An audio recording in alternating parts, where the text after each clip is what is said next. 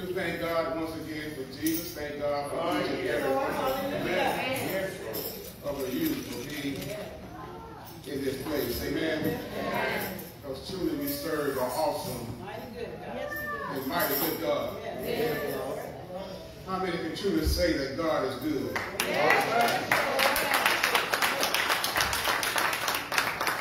We're not talking about because of what somebody else told you. Can you say it? I told God that God has been mighty good to me. Amen. Amen. We thank God. We thank God for Jesus. Truly an honor to see old Justice. Amen. And Justice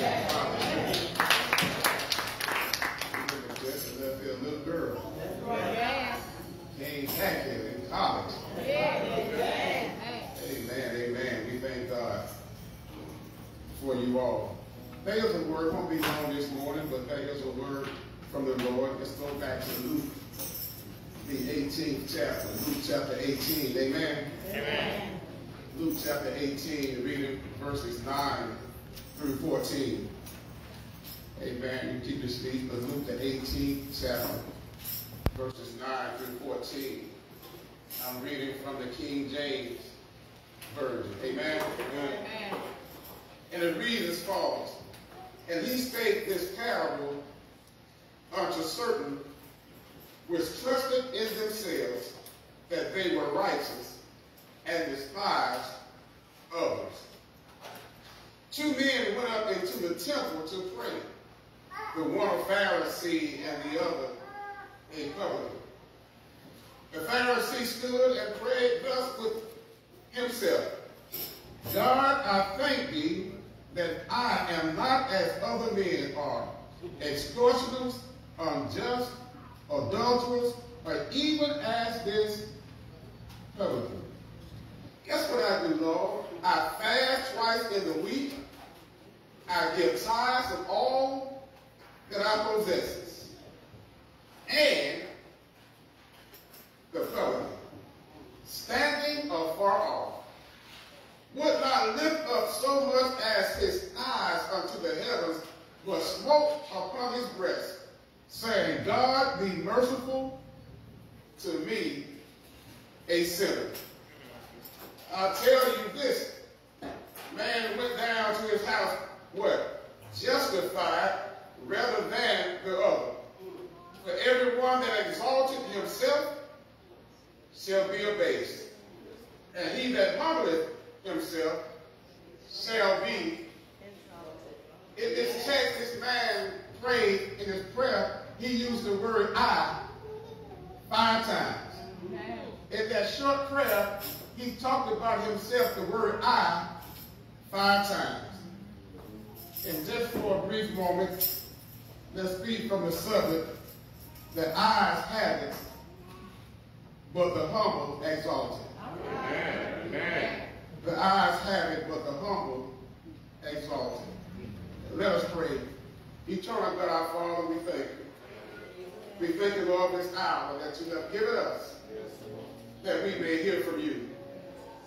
Speak, Holy Ghost, only as you can. Let nothing be added, nor anything taken away. I pray now, God, to prepare our hearts to receive this word that you have from on high. We pray, Lord, it fall on good grounds, that we be not only hearers, but also doers of your word. I pray, even as David prayed, he said, let the words of my mouth and the meditations of my heart be acceptable in thy sight, O Lord, my strength and my redeemer. In Jesus' name, amen. amen. The ayes have it, but God exalted or exalts the humble. And when you look at this text, this, this book of Luke in the 18th chapter, it starts off with God saying all men are always to what? Pray and not faint. In other words, we're always to pray and not give up. Not quit, not lose heart, because life can throw us some things in our path, circumstances in our life that would cause some of us to get knocked down to our knees. But the Bible says you always should converse or communicate with God and don't give up. He's not saying to you and me that we should be on our knees 24 24 7. But he's saying that when we're going through things and going through storms, we always should have a relationship of prayer with God. And that's one of the hardest things for some of us to have because we only pray when we're going through something. But when everything seems to be good in our lives, we don't have time to pray because everything's all right. But let tragedy happen in your life, and good God Almighty, we are praying day and night. But the Bible says we always to pray and don't give up. And so if we continue in prayer, a lot of things we going through, we might not even go through. All right. If we just start talking to God about it, even before it happens, God, I need you. God, have mercy. Because I don't care who you are, G. Life can throw you some things, Detroit, that will cause you to question God, or do you really love me? Yes. God, are you really who you say you are? But God shows himself over and over. Yes, he does. Again.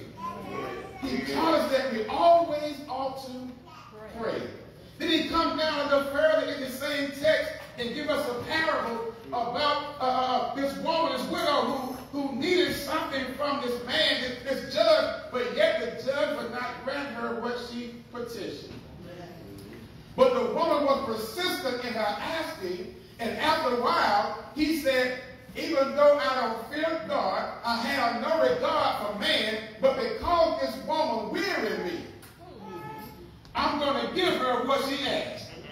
In other words, because this woman is, is having my head hurt, this woman is getting on my last nerve. Every time I look at my caller ID, it's the same phone number. And then she tried to trick me one time and called from a real phone, but I knew it was her all along. Mm-hmm. But this woman wearied me. And because she wearied me, I said, give her what she wants. Just get rid of and then God came back and said, wait a minute. Even though I love you, even though I care about you, how much would I give those who keep continually asking? Here is a man that didn't fear God. He didn't care about nobody, but because of her persistency and her consistency in her prayer, he gave her what she wanted. Jesus said, how much more will the Father give unto you to those who ask him? If a man don't care then about whether you have food on your table or money in your pocket, but because of your asking continuously, he gave. How much more will God give you and me who care all that is to know, know all that is to know about us, who say, cast all your cares upon me. If I were to pray constantly to God, God will grant me that which I ask. Amen. But the problem is we don't pray enough. That's right. It's good right. to pray when your money gets funny. Pray hard. Oh, you pray hard? Yeah, oh Lord. You might even start speaking in tongues. You start, you pray so hard you start sweating. Kevin. Some of y'all might even start hooping in your prayer. Oh, Lord. Make it plain. When you're going through something. But when your bills are paid, you got enough money to take the children to Chuck E. Cheese. Uh-huh. Then you ain't worried about it. Because you think everything is good. But how do you know whatever good is, evil is always present? How many know you can be up today and down tomorrow? You can have money today and be funny tomorrow. But guess what? If you continue in your prayer, God always seems to make a way out of no way. He'll provide whatever you need.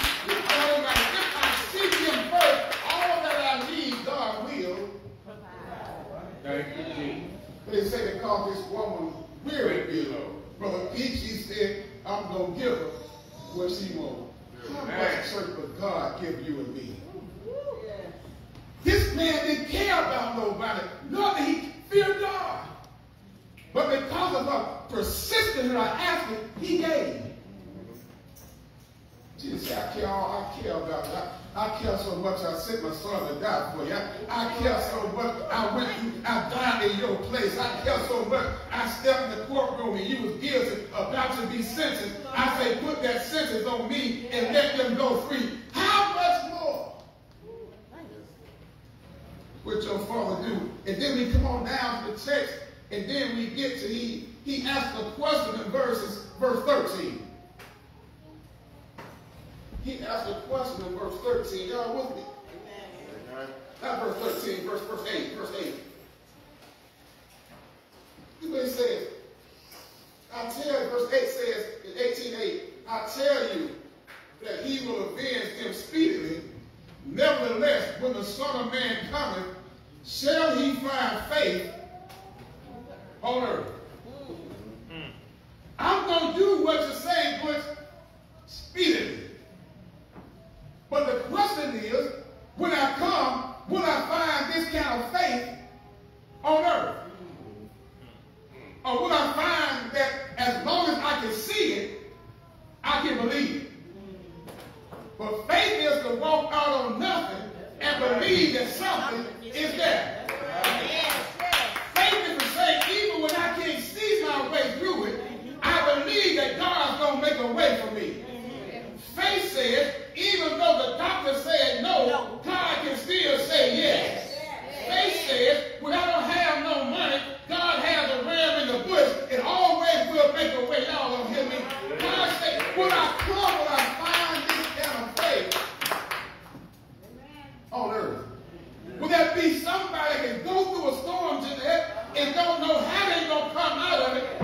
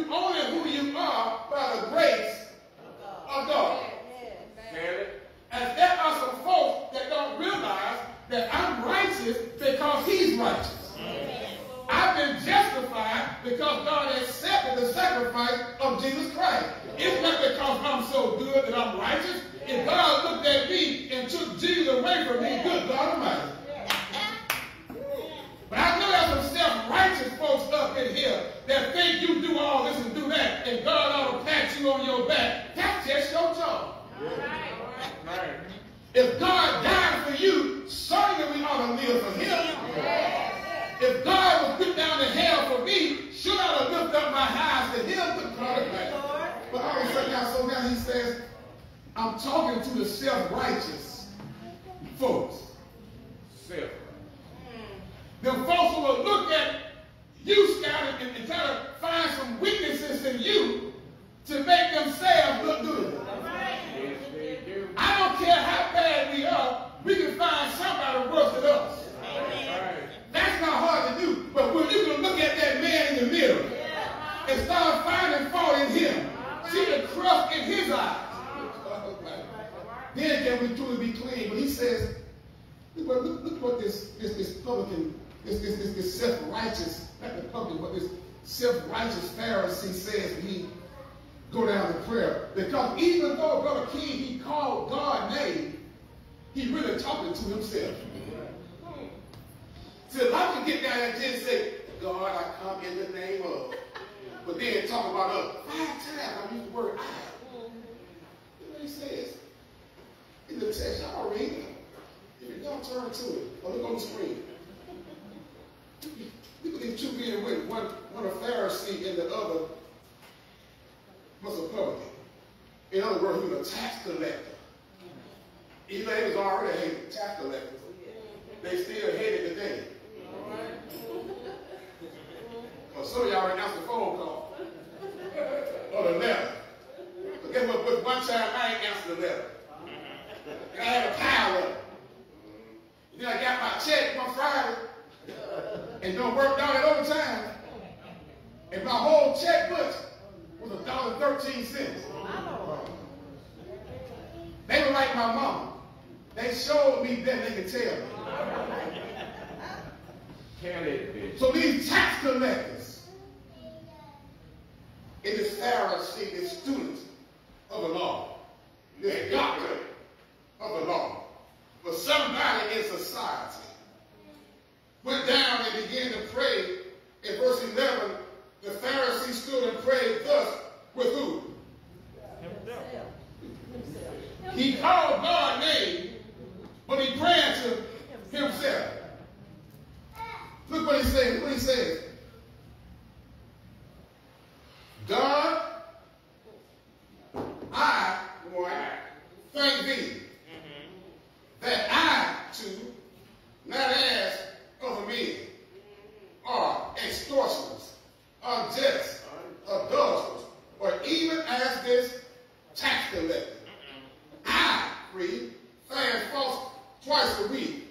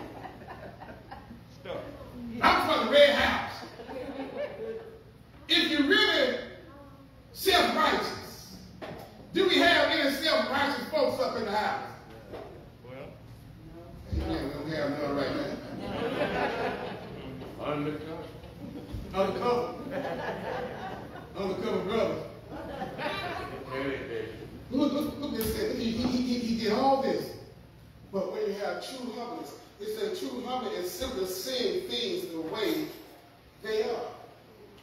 If I'm really humble, you know what I have, we don't have sometimes, either. we, we don't be humble. We don't, we don't really see things the way they are. We try to pretend like we got more than we really have. And then when somebody come by ready to bless you, you turn it down to my bless them when you really know you need it yourself. But just so you, folks don't think you don't have, let, me just tell you, I'm just the opposite. If I need it and you got it, thank you. I'm going to thank you, but before I thank you, I'm going to say thank you, Lord good God Almighty. God, you always got a ram in the bush. God, I thank you for providing for me. I needed that $10. I was $10 short paying my light bill. But look what God done done. I ain't going to need $10 if somebody trying to bless me with a 100 so I go bless that man. No, thank you, man. But our self-righteous folks will sit there and turn down what you really know you need. Tell it, Bishop. Tell it. I don't care what you think of me. Amen. Right. If God provide, I'm shouting hallelujah. Amen. Amen. Amen. But he put on this self-righteous, this self, this self-righteous. Oh, come on, point two right quick. Look what it says. It says, we gain nothing by coming to God in the lie of pride. You can't gain nothing. As a matter of fact, God thought that was so, so important. It says, it- the, the scripture says in three different places that God resists the proud, but give grace to the humble. If we were to read Proverbs 3 and 34, we'll find that James 4 and 6 and 1 Peter 5 and 5, it talks about how God resists the proud, but give grace to the humble. What you saying? You won't get nothing from God coming in pride. The lie pride. God, I thank you for what I have. If you don't give me nothing else, you gave me more than enough. And yet there's no food on your table. God, I thank you. If you don't give me nothing else, you already done enough. And you even have no job. With a foreclosure note on your door. Lord, if you don't do nothing else for me, you've already done more than enough. When you know cancer is in your body. God don't move when you come in that pride.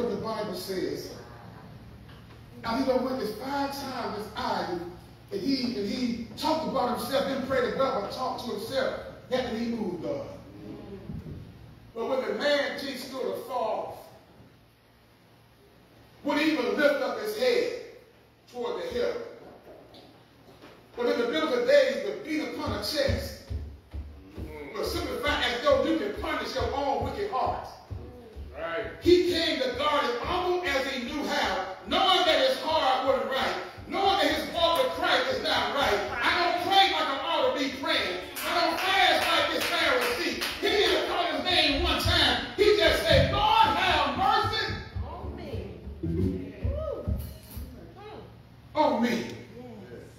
With his head down.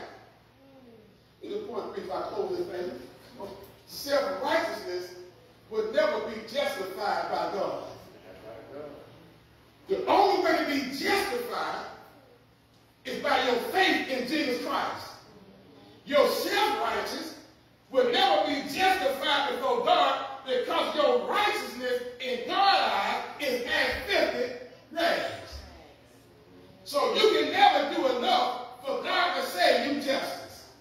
can never give enough for God to justify you. You can never cut grass enough for God to justify you. You can never rake enough for God to justify you. The only reason why and the only way you're justified is that you have faith in Jesus Christ. Because he got up and God accepted the sacrifice.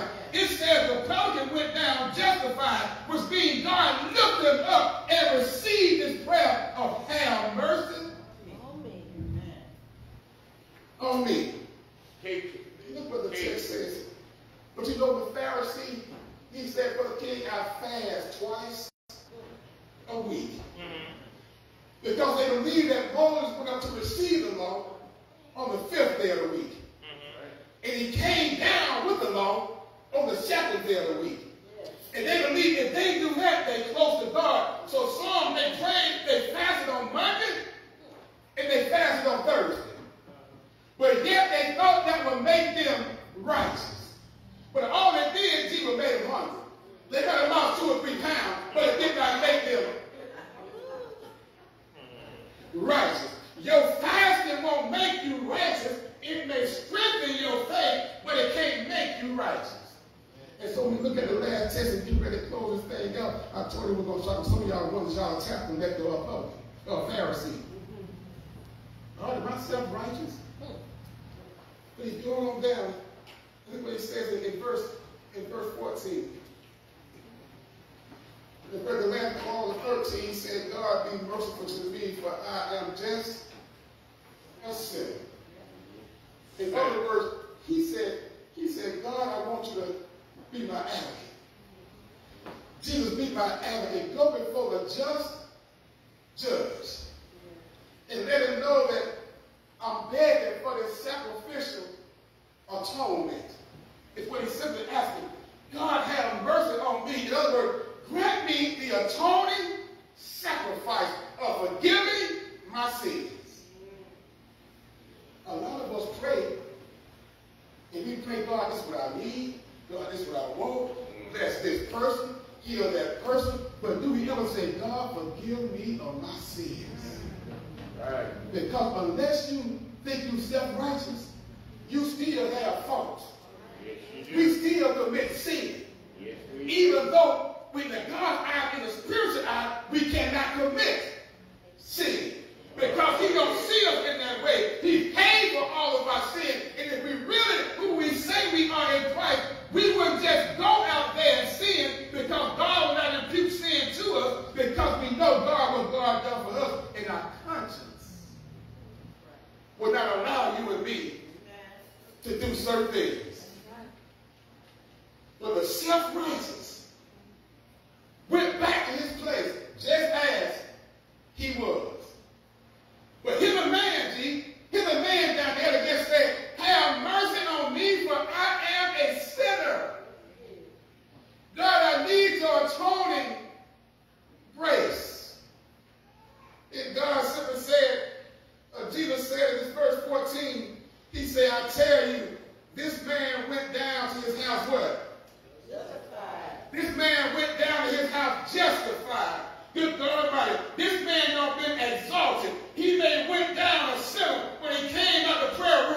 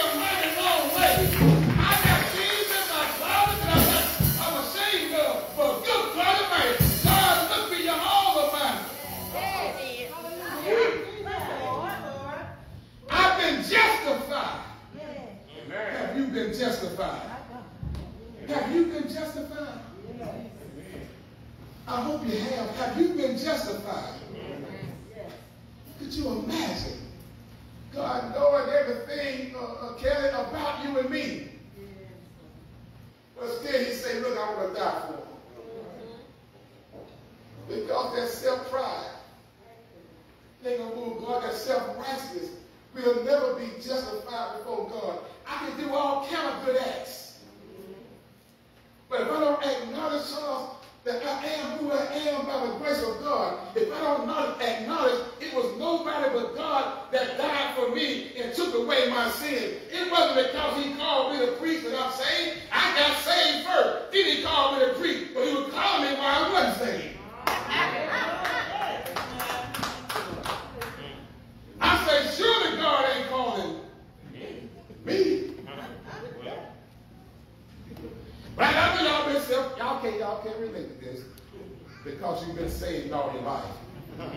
I'm just talking about a few folks like me They know. that know God found you somewhere. When mm-hmm. he found me, I went up in the church. When God called me, I wasn't doing all I ought to have been doing. God called me and said, I'm going to use you for my glory. And I said, surely you're not talking to me. To me. But then Butch, I met somebody saying they've been, they've been saved all their life. And they knew from a baby they were going to preach the gospel. Yeah. Well. I said, well, that may be good, brother. But what have you ever done wrong? Uh-oh. Uh-oh. He was like that little man went to Jesus. Mm-hmm. Jesus, what must I do to be saved? You know, the man then he say, well, I, yeah, I don't, I don't do this, I don't do that, I don't do that. Mm-hmm. Jesus said, if you desire to be my disciple, go sell all your hair and follow me. Guess what? We don't even hear from him again. Uh-oh. Uh-oh. We all have some faults. Amen. Amen. That's why we ought to be continuously in prayer. Right. God, forgive me. That's right. Stop finding fault in somebody else. You don't found so much fault in everybody else that you end up in hell yourself because you ain't looking up, you ain't even looking in the mirror yourself. That's right. That's right. Too many self-righteous fault finders. Mm. They find fault everywhere, trying to find fault. Can't get even pay attention, trying to find fault. Can't even see what God is doing. Can't even hear what God is saying because we trying to find fault.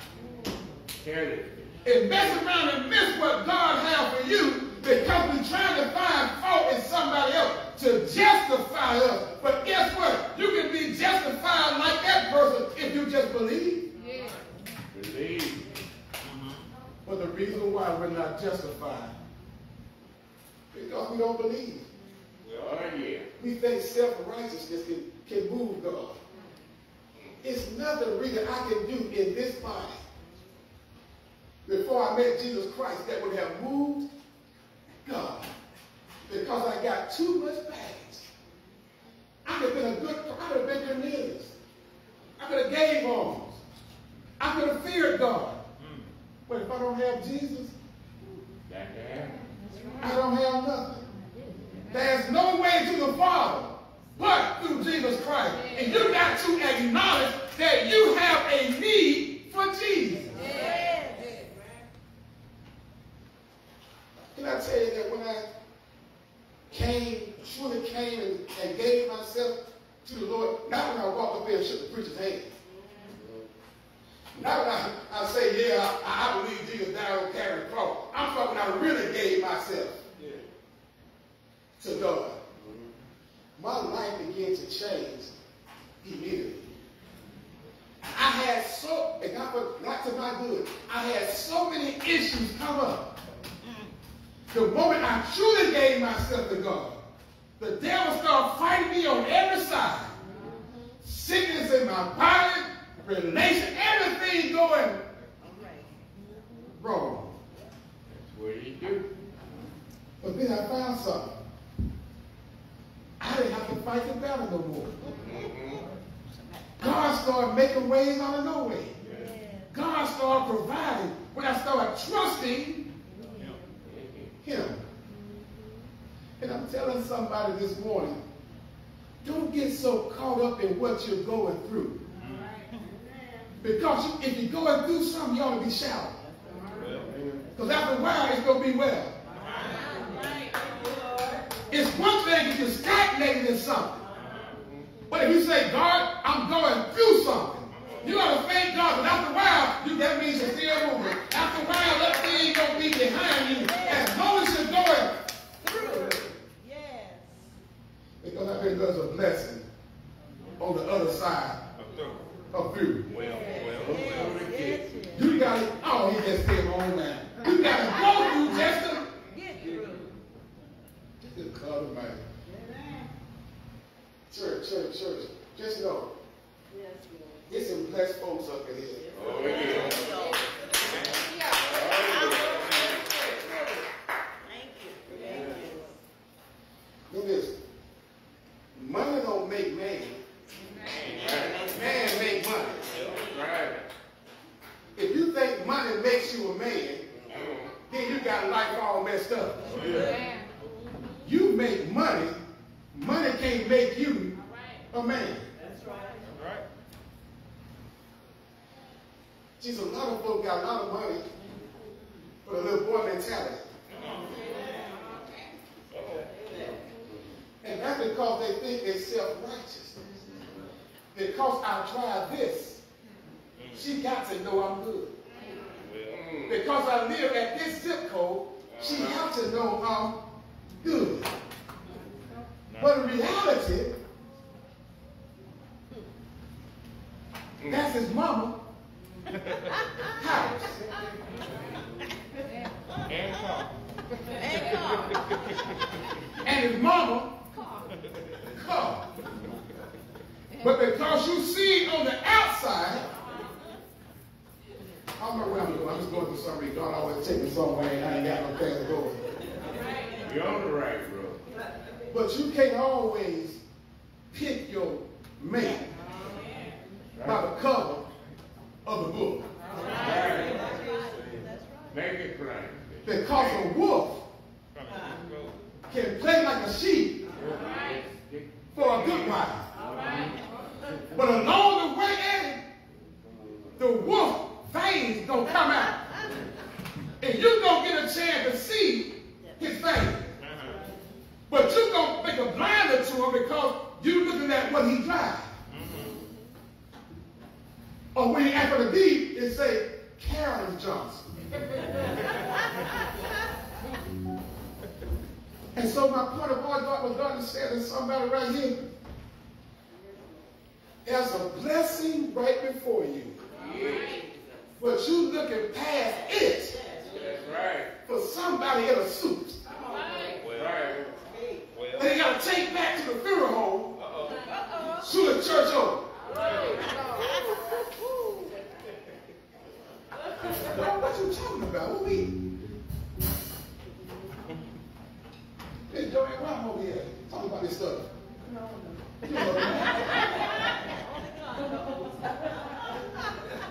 But somebody better realize everything that glitters Right. is not gold. Make it plain. I'm through whatever God has. I'm just, he, he, he, he loves somebody so much.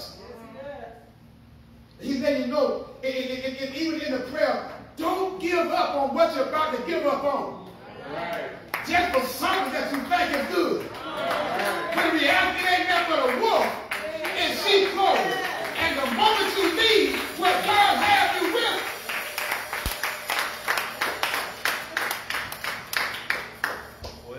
somebody about to leave a man for a boy. Let me go. He will go with the clothes real quick. He, he, he says, see, see, and then some of y'all, some, some, he's, I don't know who it is now, maybe on Facebook, but somebody right here, somebody, somebody hear me right now, Come on. been with somebody or with somebody, Uh-huh. and gonna show you over and over again That's right. that he ain't nothing but a fool. And you ain't even believe it. See, when David went to Nabal, and asked Nabal to provide him with necessities, Nabal said no. And then when Abigail, his wife, heard about it, she went to David and said, David, forgive him. Here's everything you desire. Nabal name means food. There was a woman, David a king, and a fool. She didn't really know what a king was until she met David and realized she'd been married to a fool.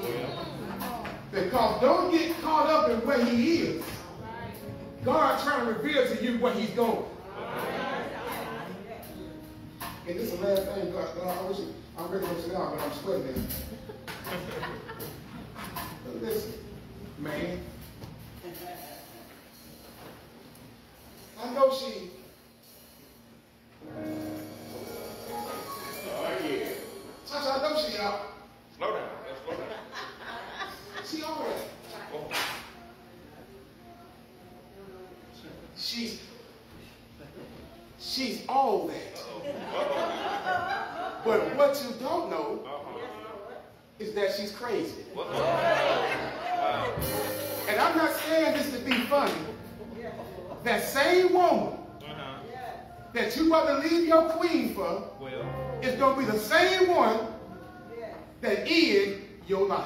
Wow. Wow. Wow. Father God, we come in the name of Jesus. Yeah.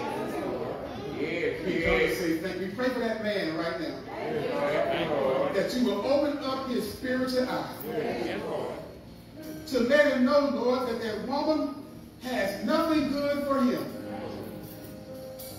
He's so caught up on the outside, God, that you're revealing even right now.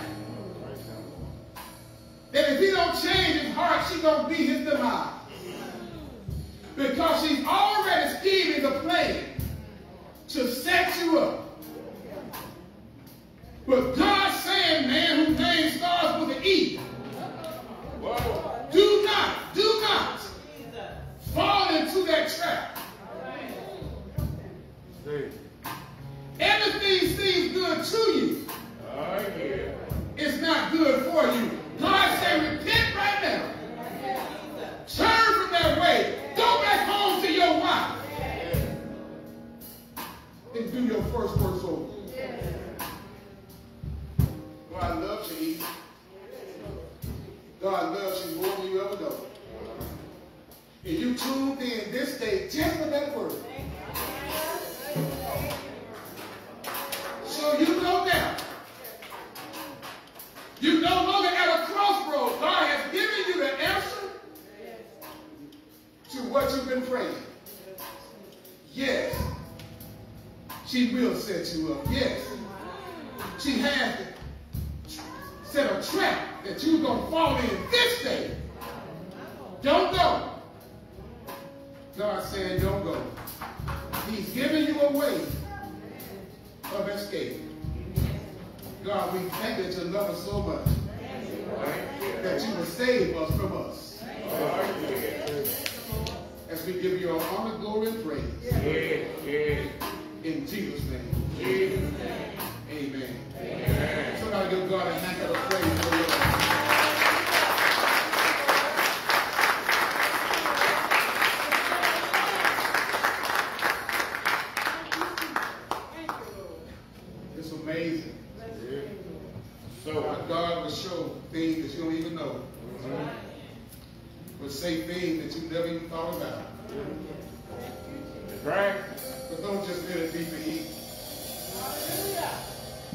us up in here.